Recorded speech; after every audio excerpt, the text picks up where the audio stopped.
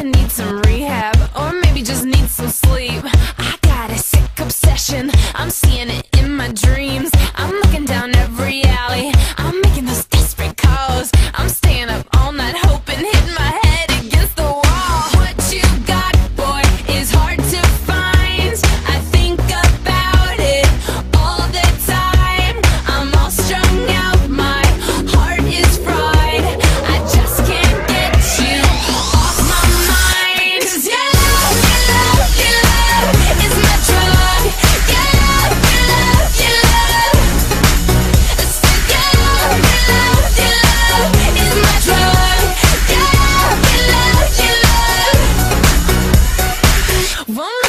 any advice. Mom's telling me I should think twice, but left to my own devices, I'm addicted. It's a crisis. My friends think I've gone crazy. My judgment's getting kinda hazy. My steez is gonna be affected if I keep it up like a lovesick crackhead. What you got, boy, is hard to.